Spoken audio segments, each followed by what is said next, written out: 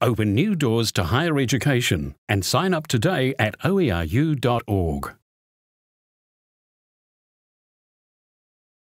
So my name is Roberta Lawrence. I'm currently a project manager at the Otago Polytechnic. I've been within the project management environment for over 20 years across multiple industries and organisations, both government and commercial, and as well from the perspective as an employee and a consultant. I see risk as the foundation to project success.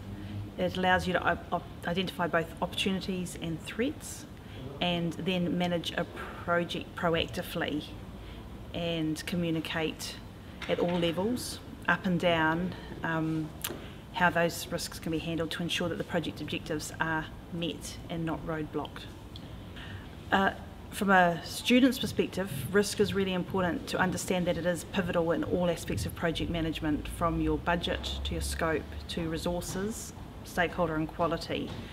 There will be risks, and it's just the reality of a project, but if you come up with um, tools and strategies to deal with those risks, it will help you be more proactive in the project management space.